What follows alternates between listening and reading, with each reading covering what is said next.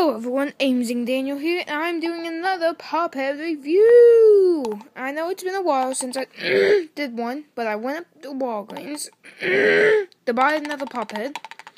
Well, I don't buy them all there, I buy them at like Hot Topic and Walmart, but that's not the problem right now. I went up because I had they had some exclusive ones, so when I went up, I saw Venom and Black Suited Spider-Man.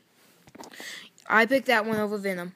I know, it's a disappointment. You didn't get to see Venom, but he will come soon.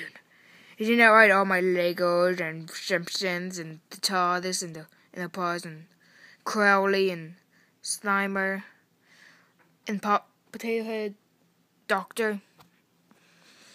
Anyway, um, so here's his face. Like it? Yeah, you do. Cause I'm Venom. Here's his chest. There's not much to show. Here's this back Spider-Man. Hope you all enjoy, because that's the Venom.